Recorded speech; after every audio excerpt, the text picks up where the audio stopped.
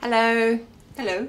It's the new year and we're all trying to think of how we can maybe tweak our lifestyles a little bit and be a little bit more healthy. And I was thinking about it and I was thinking, really, snacks is where it's really easy to fall down and grab a chocolate bar, grab a packet of crisps, things that are full of fat, salt, sugar. And so if you eat healthy snacks, then you can incorporate a little bit more healthiness into your day. Yes. It's And we're not just talking about fruit and veg, although those are very good things to snack on, but different ways of eating them, like a sort of, I don't know, cucumber sticks. You could have something like edamame beans. Yeah. Instead of reaching for a quality street or your chocolate of choice, reach for a lychee. I've been doing a lot of that over Christmas. This Mm, is a great one because I'd never thought of this. So this It's blown my mind. Uh, easily done. Yeah. this is um, roasted chickpeas. And before that, that sounds like really kind of really healthy, but think of them as like a beer snack or an alternative to crisps. So what you're going to need are some chickpeas, some paprika or other seasonings, some salt, and a little bit of olive oil. The thing with chickpeas is it's really good to give them a good rinse Why is that? uh, to get rid of all the starchy water. And I have it on very good authority that if you rinse them really well, you get rid of the starch, and the starch is what can have a lively effect on your intestines or your insides, if you know what what, do I you mean, mean. by lively effect? I'm going to leave it there. Uh, so I'm going to give them a good, a really good rinse now that I know that.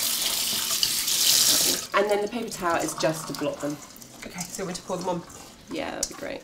You want them really dry because you want to roast them till they're completely crisp. And then I'm going to roast them dry. I'm not going to put any oil on them. I'm not going to put any of the seasonings on them. And lots of recipes for this tell you to put oil on them before, but I find that if you do, they don't get the crunch. Um, but if you roast them dry, they get a really lovely crunch. I'm going to put them in the oven for 50 minutes at 200 degrees C.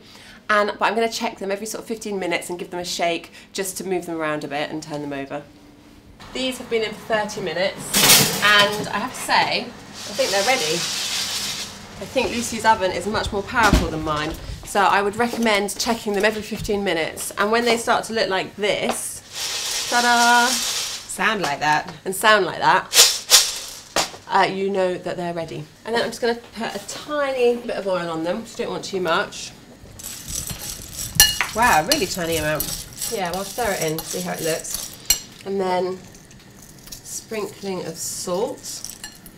And then a sprinkling, now this is my favourite thing in the world, it's smoked paprika. It's sweet, it's delicious, it's smoky. It doesn't really have any heat, so for kids it's fine. So I'm just going to put a little bit on there. Stir it through. But you could use anything, any spices that you really like. That Like you, rosemary and sea salt. Yeah. and- We could do thyme and lemon, something like that, do you think? Uh, I'm not sure about lemon, maybe. Yummy, Give it a try. Try anything, really.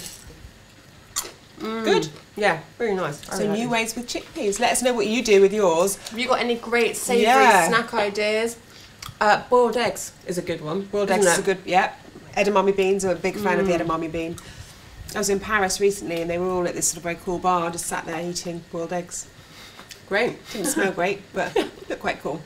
Anyway, on that note, happy snacking. See ya. Bye. um, and I can feel a cold coming on. And my go-to fail-safe cold remedy is a hot toddy. Uh, my husband makes the meanest in town. Um, they are very simply. I think it might be actually just because it contains whiskey. It's like legitimised daytime drinking. It's medicine.